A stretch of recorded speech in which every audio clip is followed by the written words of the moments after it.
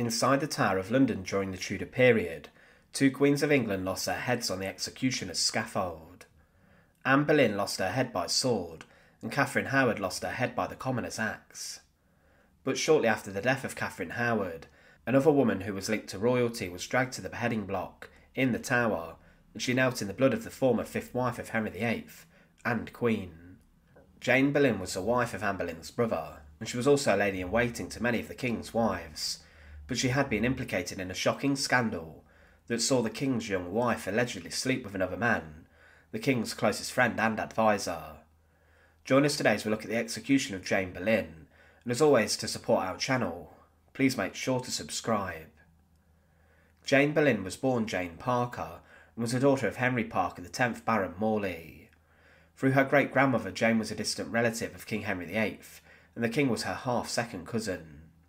She was born around 1505 in Norfolk, and her family were wealthy and were powerful members of the English upper class.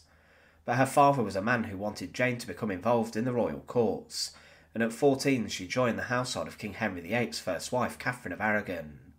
She was part of the royal party that attended the Field of the Cloth of Gold summit with the French king. Jane was considered an attractive woman, and she took part in different court masquerades and entertainment. But around 1525 she was married to George Boleyn, the brother of Anne Boleyn, who later became the second queen of Henry VIII. Anne at this time was not romantically linked to the king, but she was a powerful woman at court.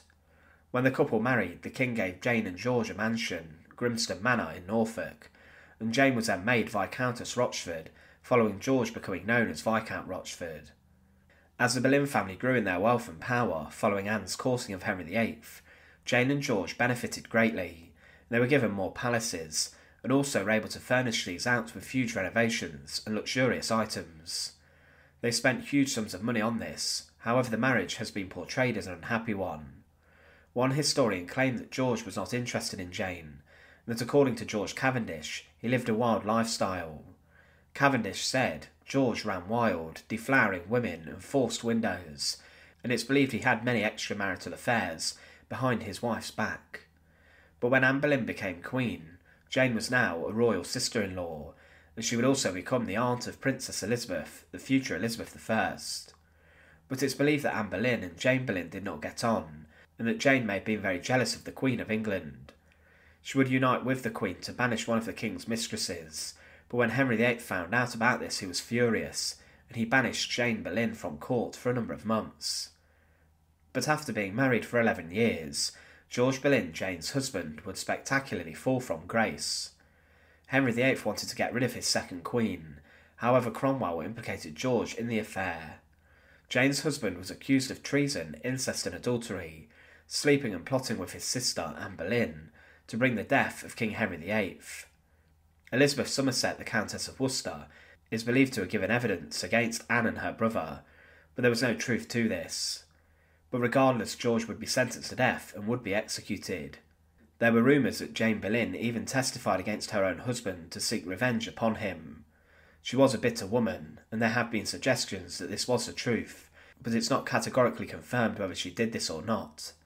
Jane's perception in history is that she was a wicked woman who turned against her husband, but recently her reputation has gone through some kind of transformation. It has been written Jane Rochford found herself dragged into the maelstrom of intrigue, innuendo, and speculation. For when Cromwell sent for Jane, he had already much of what he needed, not only to bring down Anne and her circle, but to make possible the king's marriage to Jane Seymour. Faced with such relentless, incessant questions, which she had no choice but to answer, Jane would have searched her memory for every tiny incident that occurred to her. Jane had been not quick to tell tales, but she had buckled under the pressure of relentless questioning and it was her weakness under interrogation that gave her future detractors, happy to find a scapegoat to exonerate the king from the heinous charge of callously killing his innocent wife, the ammunition to maintain that it was her evidence that had fooled Henry and destroyed George and Anne. George Boleyn was executed on Tower Hill on the 17th of May 1536 in front of a large crowd.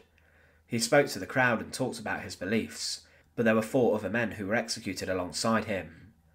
Anne Boleyn was executed two days later inside the Tower of London.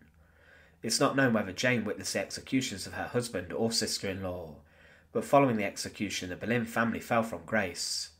The lands owned by them were given up, and Jane Boleyn was absent from court for a number of months. She tried to secure her finances and negotiated with Sir Thomas Boleyn and also with Thomas Cromwell. She was given a decent pension, and later she became a lady in waiting to Jane Seymour, the king's third wife. She was allowed a number of servants and a room inside of the royal palaces, and she also had a number of expensive meals delivered each day. But after Jane Seymour's death, Jane Boleyn was a lady who helped the king testify that his fourth wife, Anne of Cleves, and the king did not consummate their marriage. With this, the king then married Catherine Howard, his teenage mistress and fifth wife. Because of her help to the king with Anne of Cleves, she became a senior lady in waiting to the new queen, Catherine Howard, Henry VIII's fifth wife. But Catherine, it's believed, had been with men before, and at the time this was considered unacceptable for a woman who married the king.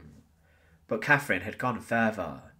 She was allegedly having liaisons with Thomas Culpeper, the king's close friend and favourite courtier, whilst the court was on progress. In different castles, the pair would meet up, and these liaisons were facilitated by Jane.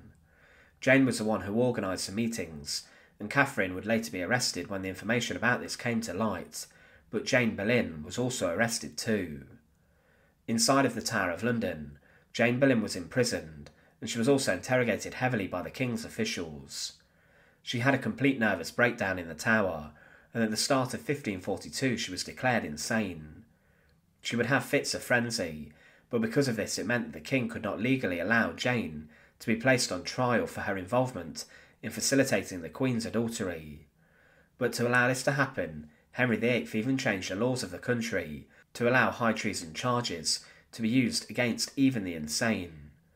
But Jane was then sentenced to death for an act of attainder, and her execution date was scheduled for the 13th of February 1542. Inside of the tower, the place of her imprisonment, first Catherine Howard, the king's fifth wife, was executed by an axeman. The blood of the queen was littered all on the scaffold, which had been covered in hay, and shortly after this Jane Boleyn was brought out to her death.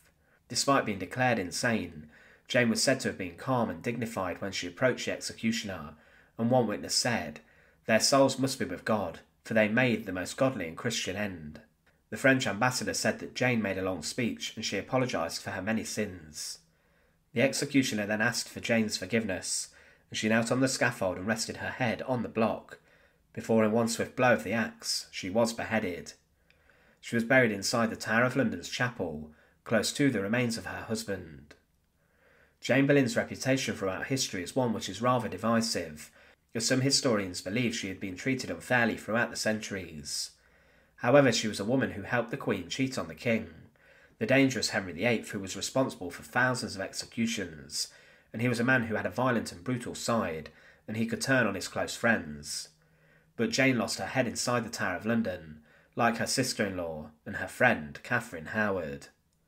Thanks for watching. To support our channel, please make sure to subscribe, and once again, Thank you so much for watching.